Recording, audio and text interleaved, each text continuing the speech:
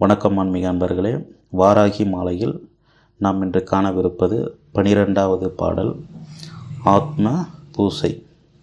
அதாவது ஆத்மார்த்தமாக அவளை வருவிப்பது அழைப்பது என்பது பொருள்.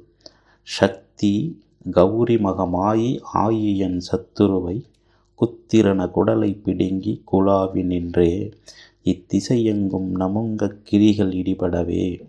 நித்தம் நடித்து வருவாள் வாராகி என் நெஞ்சகத்தே என்று இந்த பாடல் என்று இந்த பாடலை நாம் பாடி அவளை துதிக்கிறோம்.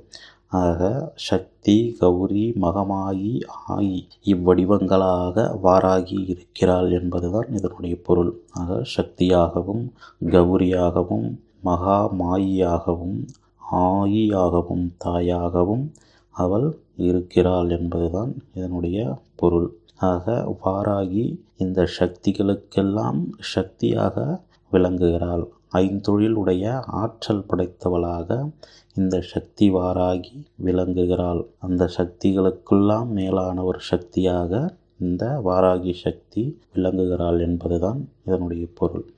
சத்ருவை குத்தி ரணகுடலை பிடுங்கி குலாவி நின்றே இத்திசையெங்கும் நமுங்க கிரிகள் இடிபடவே நித்தம் நடித்து வருவாள்.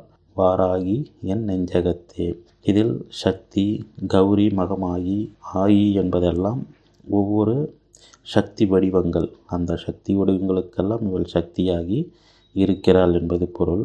கௌரி என்பது பாண்டியர் குலத்தின் தோன்றி அந்த பாண்டிய நாட்டில் வளர்ந்து பிறகு இறைவனை மணந்து அதாவது பிறகு சிவபெருமானை மணந்து அந்த பாண்டிய குலத்தில் தோன்றி சிவபெருமானை மணந்து ஒரு திருவிளையாடல் புரிந்த ஒரு சக்தி தான் அந்த கௌரி என்று கூறப்படுகிறது.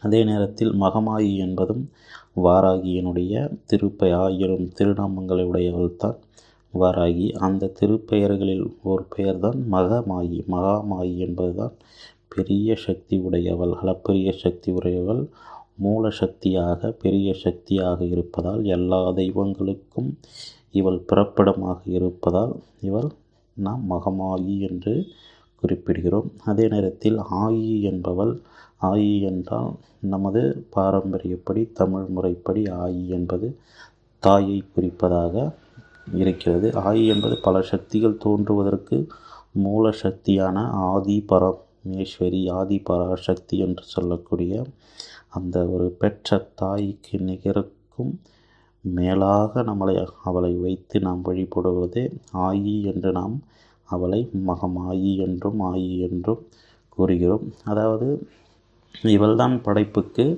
உறுதுணையாக இருக்கக்கூடியவள். ஏனெனில் தாய் இல்லையெனில் எதுவுமே கிடையாது உலகில். தாயால் தான் இந்த உலகமே இயங்கிக் கொண்டிருக்கிறது.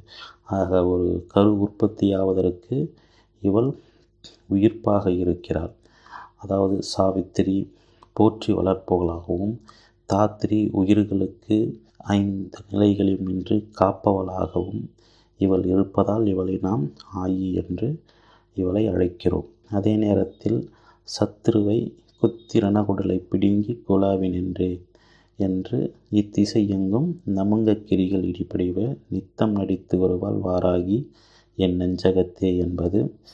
அதாவது பகைவர்களை பகவ நமக்கு அந்த உண்மையான பக்தர்களுக்கு இருக்கக்கூடிய அந்த பகைவர்களை அழித்து யாவரும் இத்திசையில் எந்த திசையிலும் அவருக்கு பகைஞர் இல்லாத வண்ணம் அவர் குடரை பிடுங்கி அழித்து ஒழித்து விடுவாள் என்பதை இங்கே நமக்கு கூறுகிறார்கள். ஆக இவ்வாறாக நம்ம அவளை போற்றி வணங்கி வந்தால் நமக்கு இருக்கக்கூடிய எவ்வித துன்பங்களிலிருந்தும் நாம் விடுபடலாம் என்பதுதான் இந்த பாடலினுடைய பொருள். அடுத்த பாடல் பில்லி மாறணும் என்று சொல்லக்கூடிய தேவி தாபனம் அதாவது பில்லி சூன்யம் யாவல் என்று சொல்லக்கூடிய அந்த விஷயங்களிலிருந்து நம்மை காப்பவளாக இவள் இருக்கிறாள் என்பதை பொருள்பட இந்த பாடல் கூறுகிறது. நெஞ்சகம் தன்னில் நிறைந்திருக்கின்றவன் நிற்குணத்தி நஞ்சனி கண்டத்தி நாராயணி தன்னை நம்புவதற்கு வஞ்சனை பண்ணி மதியாத பேரை வாழ்நாளை உன்ன கொஞ்சி நடந்து ஒருவாள் வாராகி குலதெய்வமே என்று இவளை வருந்தி நாம் பாடி துதித்து அவளை வணங்குகிறோம். அதாவது நெஞ்சகம் தன்னில் நிறைந்திருக்கின்றவள் நிற்குணத்தி என்கிறார் அதாவது நிர்குணம் என்றால் விருப்பு வெறுப்பு அற்ற ஒரு நிலைதான் நிற்குணம் என்று கூறப்படுகிறது. அதாவது நடுநிலையான ஒரு தன்மையுடையவள் தான் இந்த தாய்.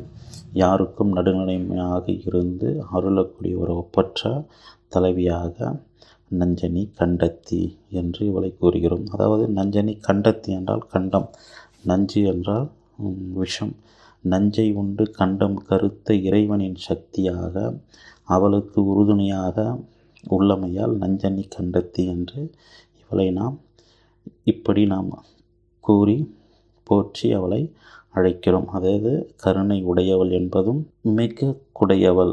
அதாவது நஞ்சனி கண்டத்தி நாராயணி தன்னை நம்புவதற்கு வஞ்சனை பண்ணி மதியாத பேரை வாழ்நாளை உண்ண கொஞ்சி நடந்து வருவள் வாராகி குலதெய்வமே என்பதால் கருணை உடையவள். யாருக்கு? தன்னை நாடி தூய மனதுடன் துதிப்பவருக்கு அவளையே நம்பி வருபவருக்கு அவள் கருணை உடையவள் என்று இந்த பாடல் நமக்கு விளக்குகிறது. ஆகவே இவளை மனமாற நாம் அவளை அழைத்தால் அவள் நமக்கு எல்லாவித செல்வங்களையும் அளித்து நமக்கு முக்தி நிறைய அளிக்கக்கூடியவள். அதாவது நாராயணி என்று அழைக்கிறோம். அதாவது நாராயணனுக்கு தங்கையானமையால் இவளை நாம் நாராயணி என்று அழைக்கிறோம்.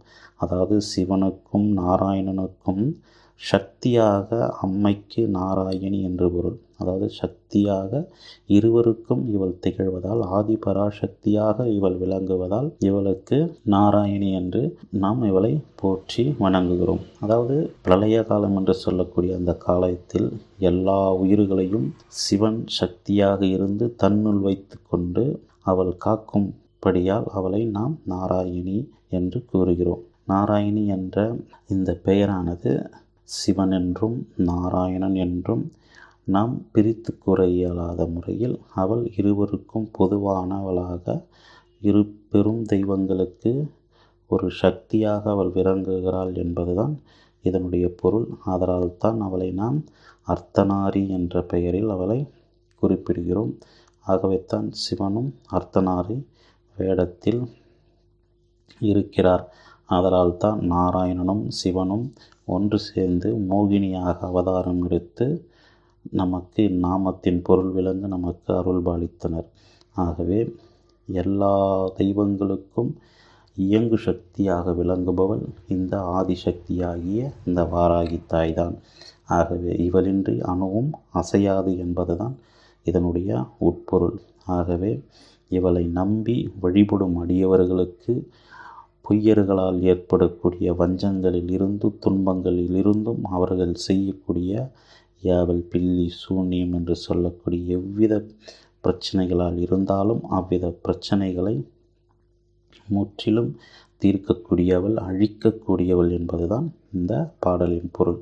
ஆகவே இந்த முப்பத்தி ரெண்டு பாமாலைகளையும் நீங்கள் பாடி துதித்து மனமாற வாராகியை வழிபட்டீர்களானால் எவ்வித துன்பங்களிலிருந்தும் மீண்டு வருவது நித்தம் நித்தம் உண்மை. ஆகவே அவளை மனமொத்து வணங்க வேண்டும்.